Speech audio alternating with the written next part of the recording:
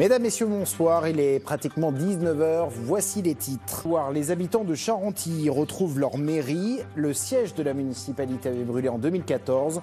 Tout le monde s'est retroussé les manches pour financer la reconstruction. Vous le verrez. Et on prend la direction à présent de l'Indre-et-Loire, plus précisément de la commune de Charentilly, qui vient de retrouver sa mairie. En janvier 2014, elle était partie en fumée. Eh bien, tous se sont retroussés les manches pour financer la reconstruction. Et elle, demain, elle sera officiellement inaugurée. Sur place, Denis Ganet et Julien Noué.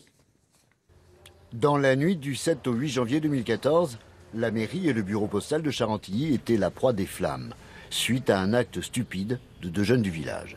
Pas de blessés, mais des dégâts considérables. Patrick Lehargue sera maire trois mois après cette nuit-là, avec toute la charge de la reconstruction. Mais le soir de l'incendie, déjà membre du conseil municipal, il était présent et la tête pleine de questions. On pense au lendemain et on se dit comment est-ce qu'on va faire pour demain ouvrir, pour que le personnel, les agents puissent euh, fonctionner? Euh, comment on va pouvoir répondre à la population?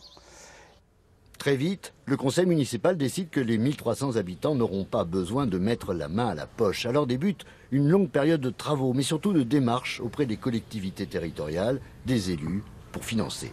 Il obtiendra de l'argent pour boucler le budget de plus de 600 000 euros en jouant sur la citoyenneté. J'ai beaucoup mis l'accent sur le fait du symbole de la République, symbole d'une mairie. Une mairie, c'est la maison commune, la maison de tous les citoyens. un village sans mairie, euh, n'existe plus. La Poste est devenue une agence postale communale, désormais plus grande. Cette mairie a été aussi conçue dans un objectif éco-responsable. Pour obtenir certaines des subventions, on a dû rentrer dans un critère qui était assez strict, édité par la région.